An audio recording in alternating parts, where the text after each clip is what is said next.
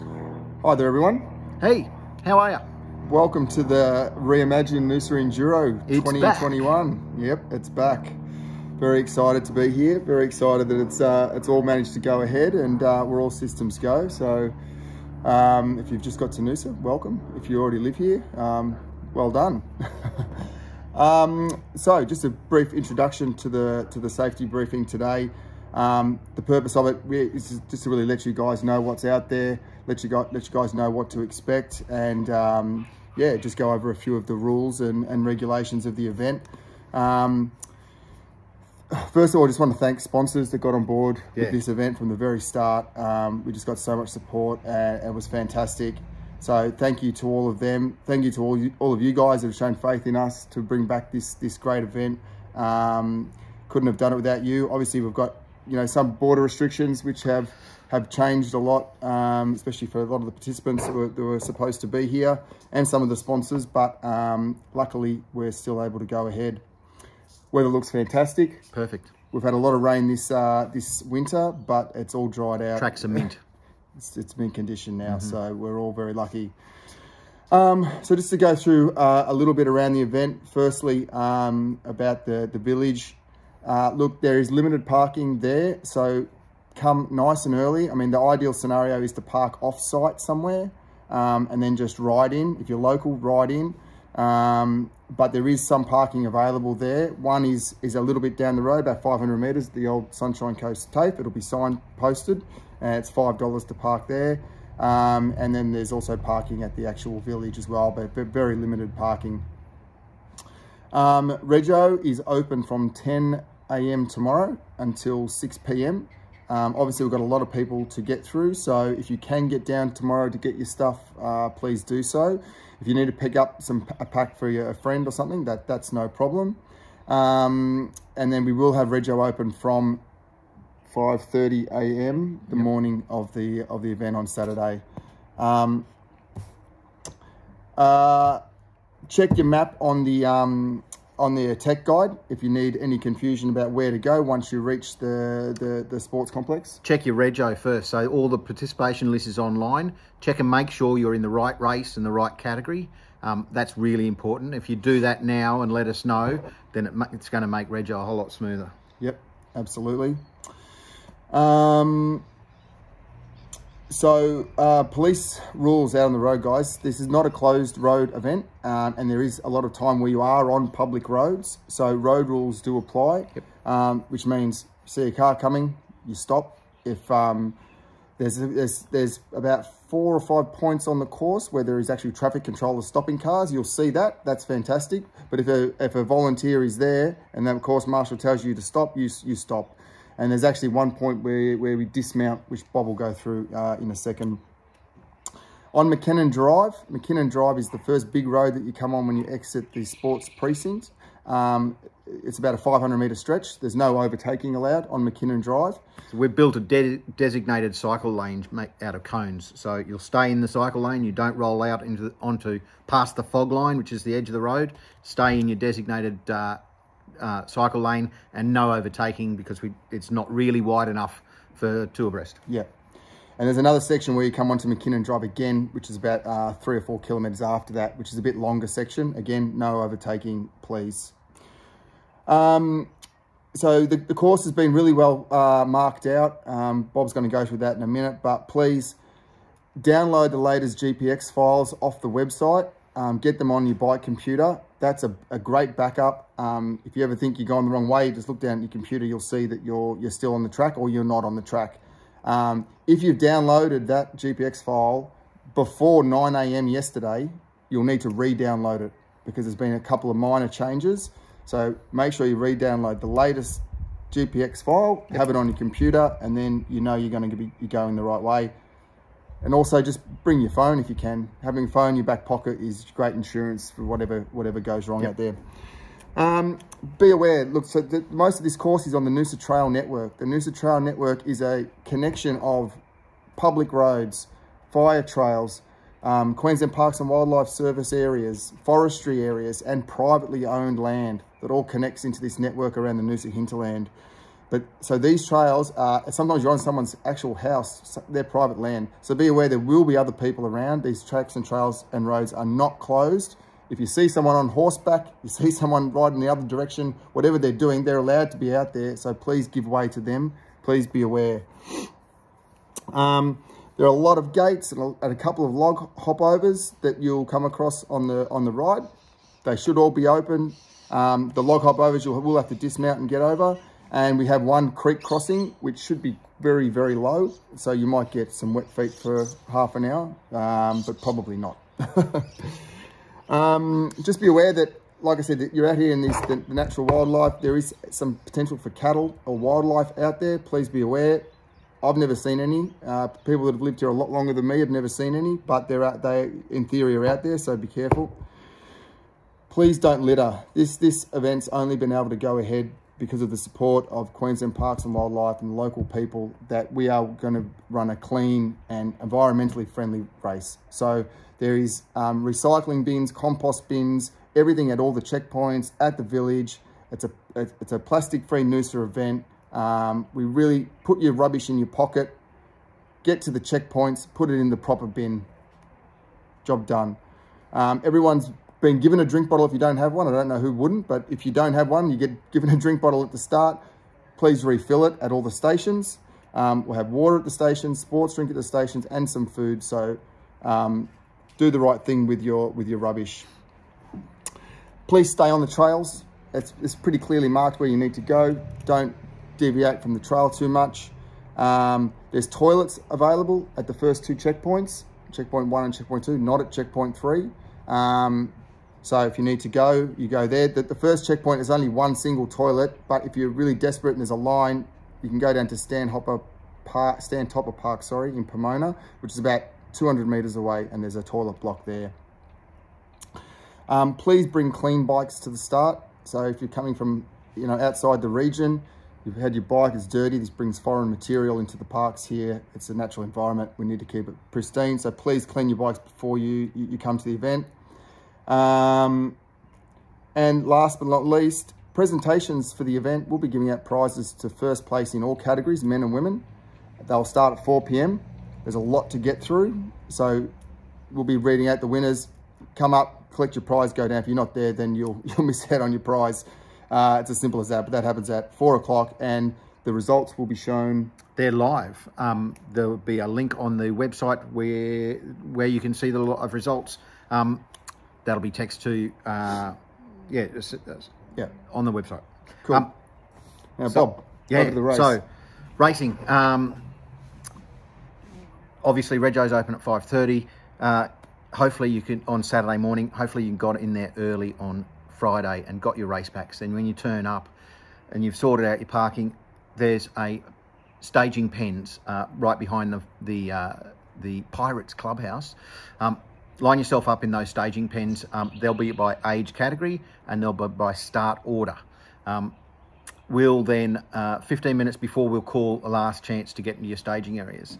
Um, just understand that right opposite there, there's a bike locker and in uh, bike uh, secured bike area. And in that secured bike area, there will be the, um, or just ex the exit of the secure bike area, there will be the bottle drop. Bottle drop will be taken out to um, checkpoint two, um, before, so it'll get there well before you do. Um, so you drop your bottles into the bottle drop. Um, there are stickers provided in your Rego for you to label your bottles. Um, there's also a battery drop for those e-bikers out there. Um, so at about five to seven, the first group will be called up to the start line. Um, and then after that, uh, they'll leave right on 7 a.m. and then after that, uh, people will be brought through in your age group categories. Um, if you start outside of your age group category, um, you'll be given the time that your age group started and penalised for starting out of your category. So nobody sneaking up and trying to get on the wheel of an elite rider. Very important. Um, you are, all right. Um, so that's the staging. That first start is at seven o'clock. Um, and then approximately five minutes after that, the second start, and then three minute waves until we've gotten everybody in the 100 mountain bike out on course. Um, it's 800 metres to the first bit of single track, then you roll through some single track, um, then you roll past the netball courts and out onto McKinnon Drive. And as Matt said, there is a dedicated cycle lane there made with traffic cones um, on the fog line on the shoulder of the road. Um, you must stay in single file along that along that um, that dedicated cycle lane. 500 metres later, you're turning left into um, some national park, and uh, it's a big wide open fire road. Bang, go nuts. Um, that's where the race will be. The race will really start. Um, we've got signs out on course. You guys all seen this in the rider brief. Yellow is for the 100 mountain bike, green is for the gravel, and pink is for the 60Ks. There's lots of corners. Make sure you keep your eyes open for those corners. Um, there's also orange tinsel, orange and yellow tinsel um, streamers running through the forest um, to just um, um, keep you guys aware that you're on the right track. It's biodegradable. It's, it's, absolutely. Not it's not plastic. I'd eat it now. I'm, I'm really hungry. Um, except I don't like carrots. Um, the uh, they're every approximately between every 100 and 200 meters. You'll see a piece of tape in the trees, um, and that's the whole course round. Um, there are deviations where mountain bikers will turn and the gravel and the 60s might stay straight or the gravel and the 60s might deviate in different directions. Um, be very aware of those. There'll be a marshal there helping you. If somebody with a yellow number plate travels on the green course, um, their number will be taken and they will be removed from the results. Um, so that no shortcutting, basically. Um, that's very important. Um, we've got marshals out there on course, so um, please use them. There are police going to be helping us. We've got police sweep riders um, and uh, there'll be some highway patrol as well giving us a hand on McKinnon Drive. So if you do stray outside of that bike lane or if you try and overtake somebody, you may get a ticket. Just be aware. Road rules everywhere. If there's traffic, you must give way to traffic as you would normally. Um, there are a few right turns there are marshals at those right turns to help you get across the road. Um, they won't stop cars for you. They will help you by telling you there's a car coming. Um, and I remind you that road rules apply. As Matt said, there's a couple of places where there's traffic control, so you should have a smooth run, specifically into Pomona. Um, you'll have a smooth run into the, the first checkpoint. Um, checkpoints have um, food, bananas, um, muffins, um, sports drink and water. So should be good to go. Uh, refuel there. Um, we have um, crews of medics out on course. Um, it's a 100k course, obviously, and so it's a big area to cover. Um, we need you guys to help us uh, look after each other. So if you come across a rider down, this is a standard, most mountain bikers know it. If you come across a rider down, you stop and you uh, lend assistance. If that rider um, isn't getting up, you inform the next rider to go to the next marshal, which should be within um, six kilometres or so is the furthest distance between marshals. Um, you, you, go to the next marshal and let them know they've got radio back to base.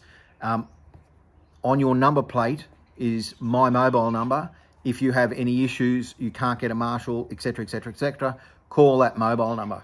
Um, call or text that mobile number and we will send out assistance to you. Um, yep. Mobile phone coverage is a little bit flaky in some areas, but um, if you make it to the marshals, the marshals, the radios will get back to us um, and they they will keep trying until they do. And we've got we've got three medical crews roving around the course, so they'll be able to get to you hopefully fairly fairly quickly they'll be deployed as soon as we can. As soon as a medic or a marshal gets to you or uh, one of our staff get to you, you can then leave that patient and you will be credited. If you complete the course, you will be credited the position you were when you rang through um, uh, to um, to alert us of help. So don't worry about your race being impacted by you being a good person. Be a good person first. Um, there's, uh, so, um, yeah, so that's medical. Uh, there are cut-off times. It's 12 o'clock. You must be at Pomona. If you're doing the 60, you must be at Pomona checkpoint 1 by 12 o'clock. That gives you a lot of time to do about 30 kilometres. So everybody should make that. Um, but if you mechanical, etc., etc., etc., and you don't make that, you will be asked to remove yourself from the race. You can take two choices to get home. You can sag wagon it. We provide a sag wagon, or you can make your own way home. Um, and typically it'll be a mechanical. Um, there's a limited amount of mechanical support in the sag wagon. Likewise, there's a mechanical support at checkpoints, limited amount of mechanical support at checkpoints. Um, the checkpoint uh, for the 100k and the gravel, you must be at checkpoint two by 1 p.m. So that's Kin Kin. That's at Kin Kin. That means you've gotten over the mother. Um, so it's a big hill, and you must have done that. Um, so one o'clock at Kin Kin. Um, and likewise, it's basically, we're giving you 10 hours to get home for a 100k race. It's 10 kilometres an hour. That's a bit faster than running speed. Um, and, and, if you and if you don't make it at Kin Kin by one o'clock and we have to pull you out, we've got a sag wagons on course that'll come out and pick you up from Kin Kin. Yep, yep. Um, and there's a police uh, sweep rider behind you who will be assisting as well. So if you have a mechanical and you're not going to make it, there should be a moto come past you at some stage and lend assistance, either get you to the nearest um, exit point where you can contact um, uh, a lift or uh, get you to the sag wagon. Uh, that's that. Don't forget, Matt mentioned it, the latest GPX files, download them, get them on your computer. There's also a Google map. If you don't use cycle computers, get that Google map, study the course, know exactly where you're going, understand where each of the checkpoints are, know your uh, know the course. It's your responsibility to know your course. Um, it's well sign mark, signpost, but it's that's very important.